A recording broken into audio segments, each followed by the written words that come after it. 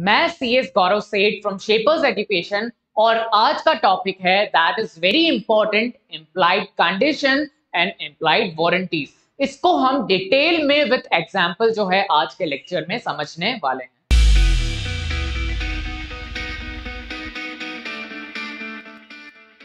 तो देखिए, आपके सामने जो है वो नोट्स आ चुके हैं। तो अब हम समझते हैं important topic that is express and implied condition तो देखो एक्सप्रेस से इसके नाम से ही हमें पता चल जाना चाहिए express that is expressly written on the contract जब हम कॉन्ट्रैक्ट ऑफ़ सेल कर रहे हैं तो कॉन्ट्रैक्ट में ऑलरेडी लिखा हुआ होता है एक्सप्रेस किया हुआ होता है कि ये ये सारी कंडीशन जो है, वो इस कॉन्ट्रैक्ट को एप्लीकेबल होगी. तो देखिए आपको क्या लिखा हुआ है? Express condition are those which are agreed upon दो पार्टीज़ के बीच में जब कॉन्ट्रैक्ट ऑफ़ सेल हो रहा है तो वो एग्री करते हैं आपस में कि ये ये सारी कंडीशंस जो है, वो पूरी होनी चाहिए। जैसे कि आपने देखा, ये टर्म्स एंड कंडीशन जो कि कॉन्ट्रैक्ट के नीचे सारी लिखी हुई होती है। तो जो कॉन्ट्रैक्ट में रिटर्न एक्सप्रेस जो कि होती है कंडीशंस एग्रीड करते हैं दोनों पार्टी तो वो होते ही express condition and this is very important इसको हम समझेंगे इम्प्लाइड कंडीशन इम्प्लाइड कंडीशन ऐसी कंडीशन जो है, जो कि इम्प्लाइड है।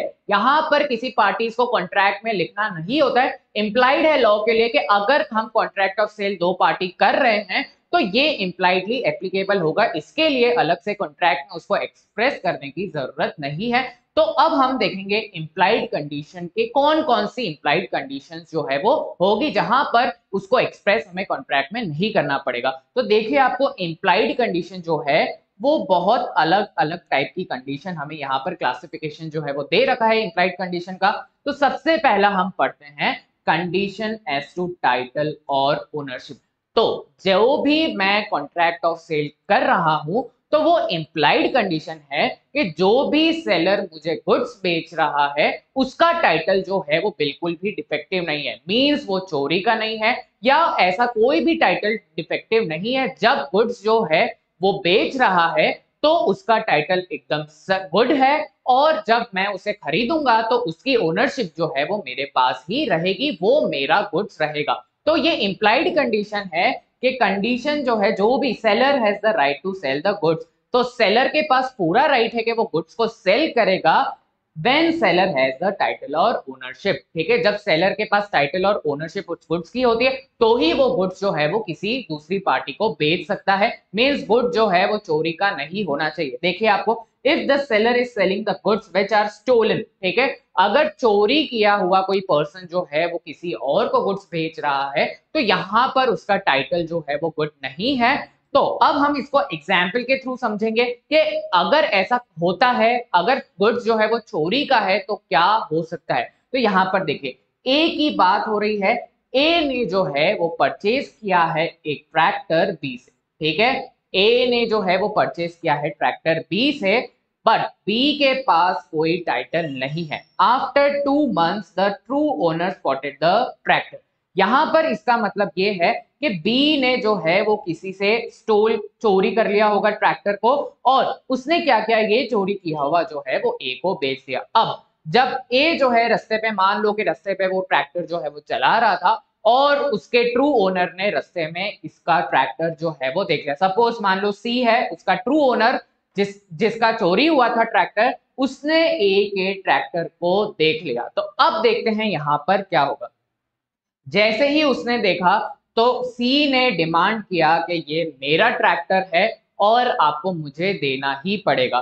ठीक है, यहाँ तक स्टोरी अब देखते हैं क्या हुआ। Held that A was bound to hand over the tractor अब सीधी सी बात है ए को जो है, भले ही उसने बी से खरीदा है, लेकिन एज पर लॉ उससे ए को जो है, वो सी को ट्रैक्टर देना ही पड़ेगा बिकॉज़ उसका ट्रू ओनर जो है, वो है सी अब हम ए का देखते हैं ए की पोजीशन क्या होगी? ए की पोजीशन जो ये होगी कि उसे ट्रैक्टर तो सी को देना पड़ेगा, लेकिन वो जो पैर करेगा, जो भी एक्सपेंसेस जो है या कुछ भी स्यू जो है, वो बी को करेगा, ठीक है? तो ए को ट्रैक्टर तो सी को देना पड़ेगा, लेकिन वो बी को स्यू कर सकता है। देखिए आपको A could sue B the seller without title for the recovery of the purchase price कि बी मुझे पैसा दे तूने मुझे चोरी का ट्रैक्टर दिया है। तो आई होप आपको ये जो है इम्प्लाइड कंडीशन जो है वो समझ में आ गई हो।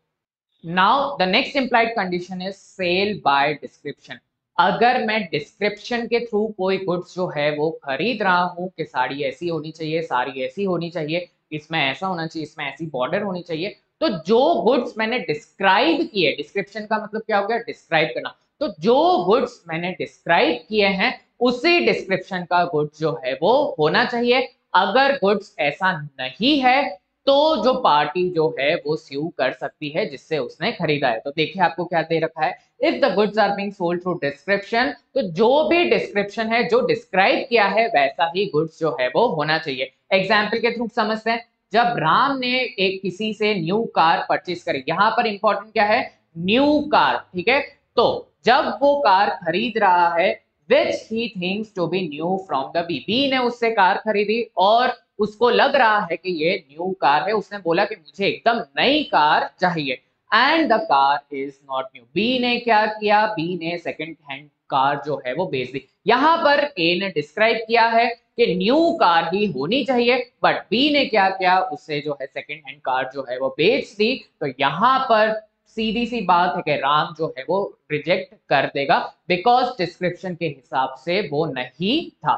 नेक्स्ट हम देखते हैं sale by sample sale by sample का मतलब होता है कि जो भी मैंने सैंपल के थ्रू गुड्स को ऑर्डर किया है, मैं थोड़ा सैंपल देख लूँगा और उस सैंपल के हिसाब से अगर मैं बल्क ऑर्डर करवा रहा हूँ तो जो सैंपल में मैंने जो गुड्स देखे थे उसी हिसाब से पूरा बल्क जो मैंने ऑर्डर करवाया है, वो मैच होना चाहिए सैंपल के साथ। अगर वो मैच नहीं होता है तो मैं गुड्स जो हो, वो रिजेक्ट कर सकता हूँ। तो देखिए आपको क्या लिखा हुआ है। In the contract of sale by sample implied condition होती है कि जो बल्क क्वांटिटी मैंने सैंपल के बेसिस पर ऑर्डर करी थी, वो बल्क क्वांटिटी भी मैच करनी चाहिए और बायर जो है, उसको रिजनेबल अपॉर्चुनिटी मिलनी चाहिए। जब बायर खरीद रहा है तो उसने सैंपल तो देख लिया।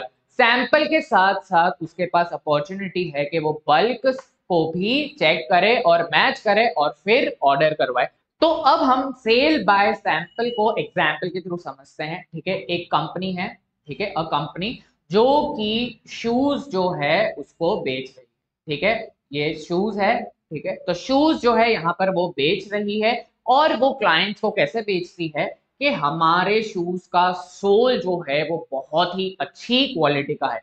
A special kind of sole by sample sale for the French army वो एक सैंपल दिखाती है और सैंपल के थ्रू जो है, वो अपने शूज़ जो है, वो बेचती है। लेटर तो हमने क्या किया? क्लाइंट ने क्या किया? इस सैंपल के थ्रू पूरे बल्क क्वांटिटी जो है, वो ऑर्डर कर दी। लेकिन जब bulk quantity later when the bulk was delivered, it was found that they were not made from the same sole same sole से वो बने हुए ही नहीं थे। आपने सैंपल में तो अच्छी क्वालिटी दिखा दी, लेकिन जब आप दूसरा बल्क ऑर्डर कर रहे हो, उसी सैंपल के थ्रू हमने तो वो जो है दूसरी क्वालिटी के हो गए। तो यहाँ पर सिंपल सी बात है कि यहाँ पर बायर जो है वो पूरा रिफंड जो है वो ले सकता है इवन प्राइस का भी और अगर उसे इस कॉन्ट्रैक्ट से डैमेजेस भी हुए हैं तो वो डैमेजेस भी ले सकता है। नेक्स्ट हम देखते हैं नेक्स्ट है sale by sample as well as description very easy sample और डिस्क्रिप्शन के थ्रू अगर मैंने को, कोई गुड्स को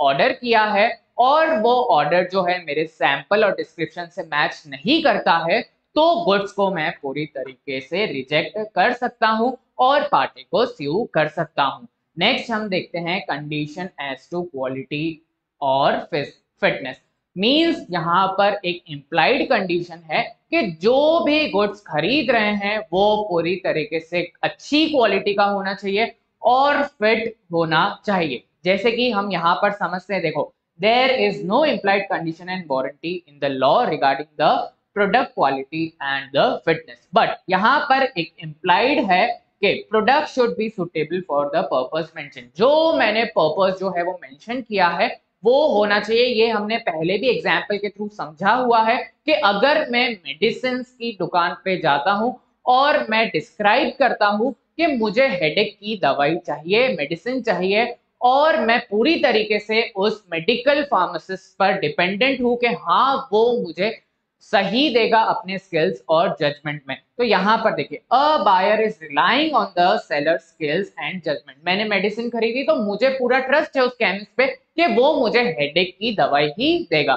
नेक्स्ट हैज़ इन्फॉर्म हिम और her regarding the purpose of the product मैंने केमिस्ट को बता दिया है मेरा पर्पस के मुझे हेडेक हो रहा है तो उसके रिलीफ के लिए मुझे चाहिए। तो यहाँ पर मैंने पर्पस भी बता दिया है और सेलर जो है उसका बिज़नेस ही यही है। कि उसे पूरी नॉलेज है जो मैंने डिस्क्राइब किया है। तब जो है अगर मैच नहीं होता है तो हम गुड्स जो है वो रिजेक्ट कर सकते हैं इवन केस भी कर सकते हैं। तो देखिए एग्ज़ाम्पल में क्या लिखा हुआ है। ए जो है, उसने एक बत्ती सी, ठीक है फॉल्स जो टीथ का जो सेट होता है, ठीक है, बत्ती सी जो है, वो जो है, वो बॉट की किससे बी से, जो कि एक डेंटिस्ट अब बट जब वो फॉल्स टीथ जो है वो सेट आया, वो ए जो है उसके यहाँ पर फिट हुआ ही नहीं। जैसे मैंने डिस्क्राइब डिस्क्रिप्शन दिया था, वो सेट ही नहीं हुआ। तो ए ने क्या किया? ए के पास पूरा राइट है कि वो रिजेक्ट करेगा और इवन प्राइस का रिफंड जो है वो लेगा। It was held that A was entitled to do so as because only purpose क्या था? फॉर विच ही वॉन्टेड उसको सेट चाहिए था और वही मेन पर्पज जो है, वो स्टीज जो है, वो सेट ही नहीं हो रहे हैं। तो उसकी वजह से हम जो है, वो पूरी तरीके से स्यू भी कर सकते हैं एंड रिफंड भी ले सकते हैं।